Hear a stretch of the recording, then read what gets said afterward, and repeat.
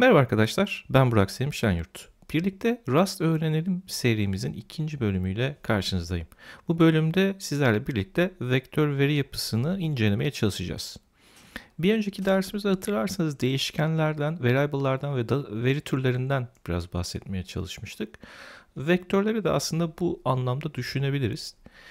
E, vektörler dinamik olarak aslında boyutu artabilen, büyüyebilen array'ler olarak da düşünülüyor ya da bu şekilde de ifade ediliyor kaynaklarda. Sonuç itibariyle çalışma zamanında ya da değerleme zamanında henüz boyutu belli olmayan yapılar olarak düşünebiliriz. Bu tip yapılara ihtiyacımız oluyor esnek olaraktan.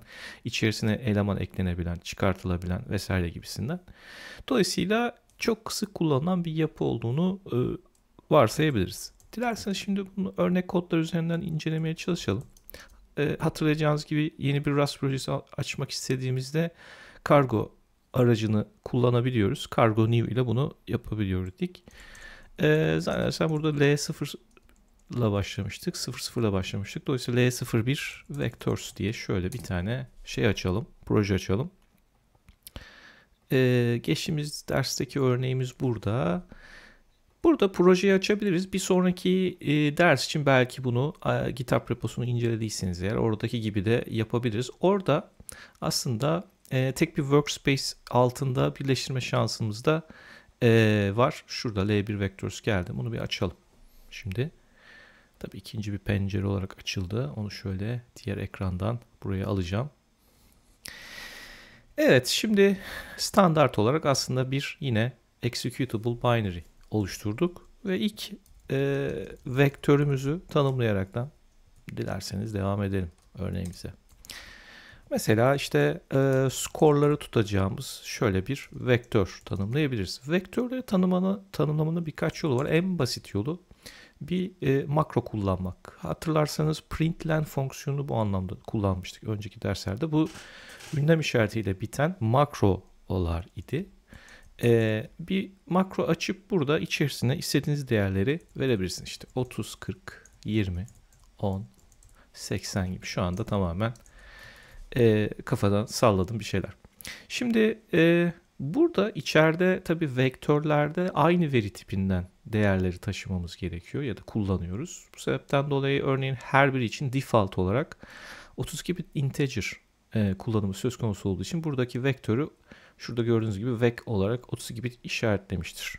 Ama tabii dilerseniz burada vektörü siz kasıtlı olarak e, ben bunları U8 gibi ya da işte başka bir U16, 16 bitlik bir unsigned veri türünde de saklayacağım diyebilirsiniz. Açık bir şekilde belirtirseniz de e, bu vektör buna göre dizayn edilmiş olur.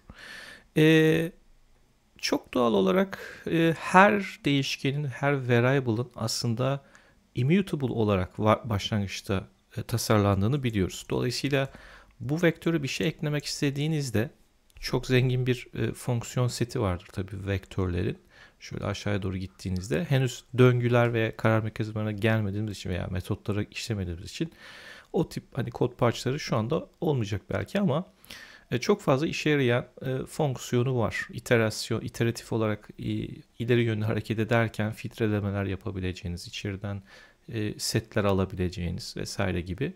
E, dolayısıyla bunları bir incelemekte fayda var. Zaman zaman işimize yarıyor. Pop ve push metotları ile aslında ekleme ve e, ekleneni alma gibi işlemler yapılabilir. Ama dikkat ederseniz push metodu e, şurada henüz yabancı olduğumuz bir kavramla karşılaşabiliriz. E, bir tane parametre alıyor aslında U16 parametresi. Bu bir metot. Vektör için yazılmış olan bir metot. E, nereden anlıyorum? Şurada e, mutable self isimli bir şey var. Bilgilendirme var. İlk parametre var. Yani bu vektör veri yapısının kendisine uygulanmış olan ve kendisinin mutable referansı ile çalışan bir metotmuş. Mutable'ı gördüğünüz zaman hemen şu sonuca varabilirsiniz. Demek ki ben buna bir şey eklemek istersem e, kendisinin mutable bir referansa ihtiyacı vardır. Dolayısıyla şurada mute keyword'ünü kullanırsak skorumuzu e, yeni bir eleman ekleme şansı sahip oluruz. Bir tane daha ekleyelim mesela. 100 diyelim buna. Ve bunları ekrana yazdıralım. Ee, zaten otomatik tamamladı. Ee, asistan course'u şu şekilde bu formatta ekrana yazdıracağız. Şöyle hemen L01 klasörüne girelim. Ee, bu arada IDE'nin terminal penceresinden de çalıştırabilirsiniz aslında aynı örnekte. Yani şurada cargo run diyerek programı çalıştırabilirsiniz ve sonuçları şu şekilde görebilirsiniz. E, veya işte burada benzer şekilde cargo ile çalıştırabiliriz. Quiet modda da çalıştırabiliriz. Sessiz modda e, da söz konusu olabilir. E, şöyle bir şey yapalım. Bir de burada bazen diyez işareti ile olan kullanımları da e, görebilirsiniz. Bu şekilde. Şimdi bunu yaptığınız zaman daha farklı bir formatta yazar dikkat edersiniz. Aşağıya doğru yazacaktır. E, bu özellikle aslında kendi data structure'larımızı tasarladığımızda biraz daha e, anlam kazanıyor. Çünkü otomatik olarak JSON formatında e, dönüştürme işlemleri yapıyor. Ama işte duruma göre veri içeriğini bu şekilde yazdırmanız da mümkün. Henüz for döngülerini görmedik aslında hani döngü yapılarını e, işlemedik ama burada hani hız e, kolaylık olması açısından isterseniz bir tane şey yapalım. Şu şekilde bir iterasyon başlatılabilir. Yani ileri yönlü bir iterasyon yazacağınızı söylüyorsunuz. Iter fonksiyonu size aslında bir e, nasıl diyeyim iter, iteratif bir referans döndürüyor ve aslında next next fonksiyonlara ilerleyebileceğiniz bir yapı aslında ileri de, ileri yolu doğru hareket edebileceğimiz bir yapı. Bunu bir for döngüsü içerisinde kullandığınız zaman doğal olarak bütün elemanlarını e, dolaşma şansı sahip ol- oluyorsunuz. Ve hatta iter fonksiyonunun dönüşüne bakarsak eğer burada bir iter diye başka bir veri tipi e, gö- döndürdüğünü görüyoruz. Iter'e giderseniz de bunun bir aslında struct olduğunu, veri yapısı olduğunu, e, jenerik bir tip olduğunu, şimdi belki yabancı olanlar için e, biraz tuhaf bilgiler olabilir. E, ama hani jenerik bir e, struct'tan bahsediyoruz. E, lifetime'lar kullanıyor. Bunları ilerleyen derslerimizde de görme şansı sahip olacağız. Ama e, iter fonksiyonu aslında e, şöyle kullanıldığında e, ileri doğru hareket ettiğimizde geriye de aslında referans olarak kullanabileceğimiz bir değer döndürüyor. Mesela şurada ampersan U16 şeklinde. Ee, buna da bakalım. Dilerseniz tekrardan şöyle bir önceki komutu çalıştırayım. Ee, bu da tabii ki println ile kullandığımız için ne yaptı? Bütün elemanlarını aşağıya doğru yazdırdı. Bu şekilde bütün elemanlarını gezme şansımız var. Bunun dışında isterseniz e, şöyle bir şey yapabilirsiniz. Mesela e, last score diyelim scores üzerinden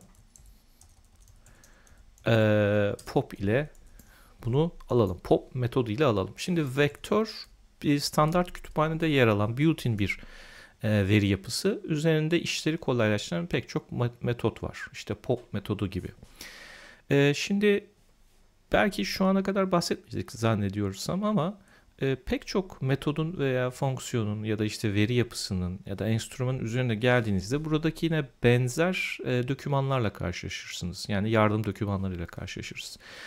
E, bu dokümanlar Markdown formatında yazılmış dokümanlardır ve Rust bu konuda oldukça başarılıdır. Kendi yazdığımız kütüphanelerde de aslında bu komentleri kullanaraktan çok iyi bilgiler verme şansına sahibiz. Genelde Crates.io üzerinde de bu şekilde bir bilgilendirme oluyor. Buna benzer dokümanlar oluyor. Detaylı bir şekilde. Mesela burada e, metodun kendi imzası ya da işte e, enstrümanın yapısı hakkında bilgiler dışında ne iş yaptığı, örnek kullanım şekli e, veya ekstra bilgiler var. Örneğin burada O1 e, kompleksitesi varmış Big O notasyonuna göre. Dolayısıyla e, verimliliği yüksek olan bir metoddan bahsediyor mesela gibi. E, tabii ki pop metodunun özelliği şu. Son eklenen elemanı size e, verir. Ama tabii ki bu son eklediğimiz elemanı listeden de çıkartır. Yani şu noktadayken örneğin e, scores'u tekrardan yazdırırsak şurayı kapatayım. Şey olmasın.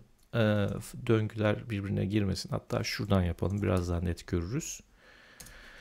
E, dikkat ederseniz en son eleman ele şey hmm, skor bilgisi ne yaptı? Listeden çıkartıldı. Pop'un böyle bir özelliği var. Tipik bir queue gibi hareket ediyor e, düşünebiliriz zannedersin. E, pardon düzeltiyorum. Queue olmaz değil mi? O first in first out oluyor. Siz gene teyit edin tabii ki bu söylemiş olduğum bir bilgi. Last in first out diye düşünebiliriz Pop'u. Bir dequeue e, mantığında çalışıyor diyebiliriz. Şurada ondan bahsediyor olması lazım. E, bu arada gel, yeri gelmişken hani ekstra arada bilgiler de serpiştirmeye çalışıyorum. Mesela şuradaki kod parçaları da çalıştırılabilir olmalıdır. Burada bazı assertlerimiz var. E, henüz nasıl test yazacağımıza bakmadık tabii. Şu anda en temel parçaları toparlamaya çalışıyoruz ama buradaki dokümana ekleyeceğiniz kodların da mesela dokümantasyonda çalıştırılabilir Rust kodları olması beklenir. Evet skoru e, son skoru böyle aldık. Tabii ki last skoru da isterseniz yazdırabilirsiniz. E, işte last score diyelim. Last score is şöyle bir şey yapabiliriz. Şimdi last score ile ilişki tabii e, yine daha henüz görmediğimiz farklı bir durum söz konusu. E, şöyle ki bu metot aslında geriye option diye bir şey döndürür. Şimdi daha sonra ki bölümümüzde string türünü inceleyeceğiz. Sonra da fonksiyonlar var, metotlar var. Ee, oralara geçmeden aslında biraz küçük hazırlıklar da yapmış oluyoruz. Mesela şurada pop fonksiyonunun bir tanımını görüyorsunuz burada.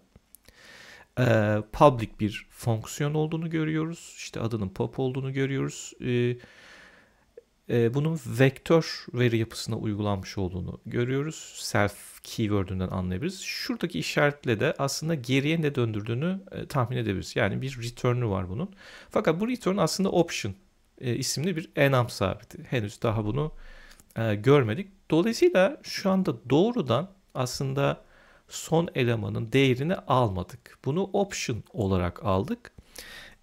Gerçekten bu değer varsa elde edebileceğiz. Şimdilik bunu tavsiye etmiyorum tabii ki kullanımlarda ama öğren öğrenme aşamasında olduğumuz için unwrap ile asıl değerini alarak ilerleyebiliriz. Yani normal şartlar altında burada e, last score'un none olup olmadığı veya işte sum ile bir şey taşıyıp taşımadığında bakılaraktan bir karar veriliyor. E, bir if ile yapılabilir, iflet ile yapılabilir. Şimdiden ipuçları vereyim işte pattern matching ile kullanılabilir gibi ama sonuç itibariyle asıl değere ulaşmak için bakmamız gereken başka bir şey var. Şimdilik bunu dediğim gibi es geçiyoruz. Unwrap'la aldığımızı düşünün. Tamam. Ee, tabii şöyle de şöyle yapalım isterseniz bir de. Önce unwrap ile almadan ne yazdırdığına da bakalım. Ee, pardon. Ubuntu'dan kalma alışkanlık. Clear demişim. Ee, evet. Şimdi bakın dikkat ederseniz last score is sum 100 diye bir şey yazdı. Örneğin işte o sum ve none kavramları result enam, e, option inamından geliyor şuradaki. Şimdilik biz onu e, göz ardı ettiğimiz için buraya ben unwrap ile alacağım. Ve aslında last score is 100 diye o değeri de ne yapmış olduk? Bu şekilde elde etmiş olduk.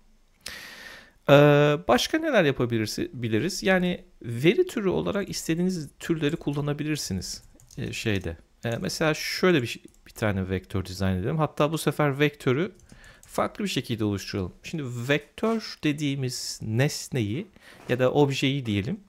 Sonuçta başlatmak için ya da initialize etmek için kullanabileceğiniz bir metot var. Mesela örneğin vektör üzerinden çağırdığımız new metodu bu işi gerçekleştiriyor. Ee, kendi yazdığımız sonradan öğreneceğimiz veri yapıları ve modellerinde de ilk initialize ederken hatta C Sharp tarafından gelen arkadaşlar için daha bilgilendirici olabilir. İşte constructor yerine geçebilecek olan bir metot bu. Ee, bir vektörü bu şekilde de oluşturabilirsiniz. Fakat burada dikkat ederseniz vektör için şöyle bir şey vardır. Ee, tip belirsizdir henüz. Soru işaretidir. İlk eklediğimiz tipten sonra e, şey yapar. Bu da hemen tahmin etti ya değil mi asistan? Colors push string from green diye buraya ekleyebiliriz. Mesela işte yeşil hatta şöyle yapalım red diyelim. İşte colors green bu da blue olacak büyük ihtimalle.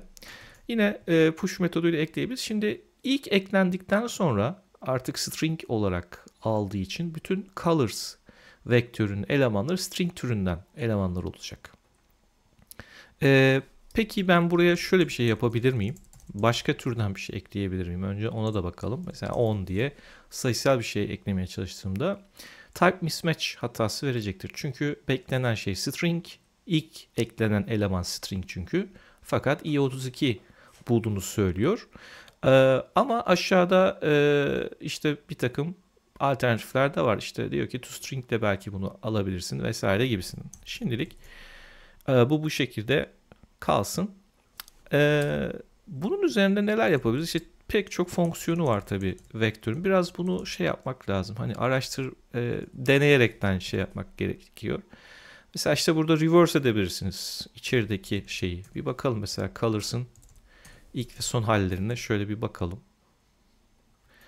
Ee, efendim söyleyeyim. Cargo run, white. İşte red, green, blue, blue, green, red gibi tersten sıralayaraktan bir vektörü e, elde edebilirsiniz. E, şöyle bir şey yapabiliriz. Farklı bir kullanım şekli. Mesela işte kod diyelim. E, tipi de U8 olsun. E, 8 bitlik pozitif sayılardan olsun. Ve bunu mesela şöyle tanımlayalım.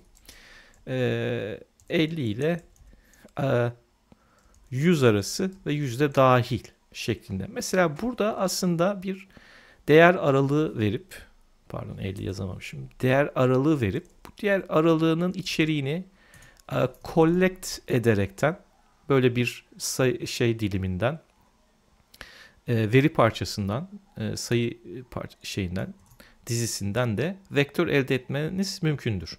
Doğrudan oluşturduğunuzda bu vektöre dönüşmez. Bunu bilinçli olarak sizin bir e, vektör türüne collect fonksiyonuyla toplamanız gerekiyor. Ama arada başka işlemler yapabilirsiniz. Yani map reduce tarzında işte önce içeride bazı kriterleri olanları tespit edeyim. Sonra bunun üzerinde bir takım ayıklamalar yapıp collect edeyim de diyebilirsiniz. Çok değişik şeyleri var. Fonksiyonel özellikleri oldukça geniş vektörlerin. Çok da kullanılıyor. Hatta çok şey gerçek hayat örneklerinden. Mesela ECS motorlarında, Baby tarzı ECS motorlarında vesaire genellikle vektör bazlı koleksiyonlar içerisinde komponentleri taşıma, e, yönetme gibi işlemler gerçekleştiriyor. Yani oldukça kullanışlı bir veri modeli olduğunu söyleyebilirim.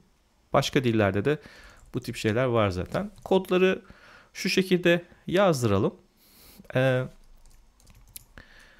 bir dene, tabii deneyelim şu haliyle de bir bakalım. Evet burada da 50 ile 100 aralığında 100 dahil olacak şekilde e, bir şey gerçekleştirdik.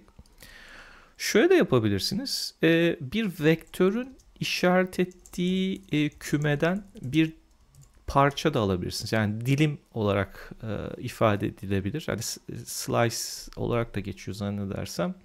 E, bir vektörün içerisinden e, işaret edeceği küçük bir parçayı alıp sadece onun üzerinde çalışmak da düşünebilir. Mesela 1 ile e, 9 arasındaki şeyleri toplayalım.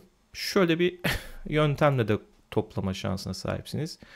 Collect ederken bunları i32 olarak ele al ya da işte e, pardon e, işte U8 olarak bir anda .NET'ce yazık byte gibi U8 olarak al gibisinden bir işlemde gerçekleştirilebilir.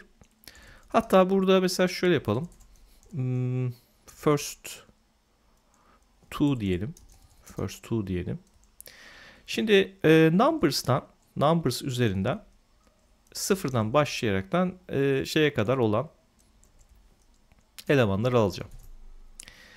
E, şunu hatta şöyle yapalım. 8 ile 27 yapalım. Farklılaştıralım. Ve daha sonra println ile first to'yu yazdıralım. Şöyle bir kod parçası deneyelim. Bu şekilde de mesela bir e, şey söz konusu olabilir. Yani dilim ile çalışmak e, mümkün olabilir. 8'den başlayaraktan 27 dahil olarak devam eden bir sayı dizisinin ilk iki elemanını alıyoruz. Ya da mesela şunu de, diyelim 10'dan itibaren e, 16 diyelim. E, bu mümkün mü tabii şimdi burada kafadan attım ama işte 18 itibaren burada 1, 2, 3, 4, 5, 6 eleman olacak şekilde ne yaptık? Oradan e, bir dilim alıp işletebildik. Evet vektörler gördüğünüz gibi oldukça şey kullanışlı. E, metotlarına bakmanızda nasıl işlediğine bakmanızda fayda var. Hatta şöyle bir şey tavsiye edebilirim sizlere. Mesela şurada bir vektör görüyorsunuz.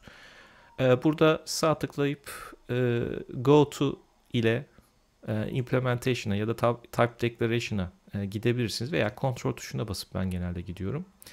Böyle bastığınız zaman aslında standart kütüphanedeki koduna da ulaşırsınız. Yani bir vektörü Rust'ın içerisine nasıl tasarlamışlar aslında. Burada buralar çok iyi bilgiler verir bize.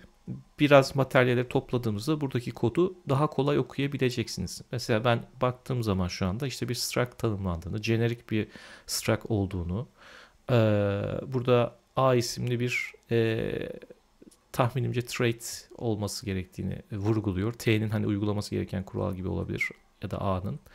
Ee, içeride iki tane işte field içerdiğini, bir tanesinin ravvec isimli, e, T ve A isimli jenerik tiplerle çalıştığını, U-size türünden bir uzunluğunun olduğunu e, görüyorum gibi.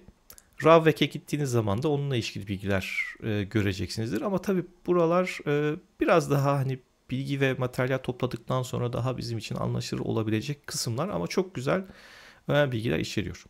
Şimdilik bu bölümü burada tamamlayalım. E, vektörler konusunu. Bir sonraki bölümümüzde de stringlere bakmaya çalışacağız. Tekrardan görüşünceye dek hepinize mutlu günler diyorum arkadaşlar. Hoşçakalın.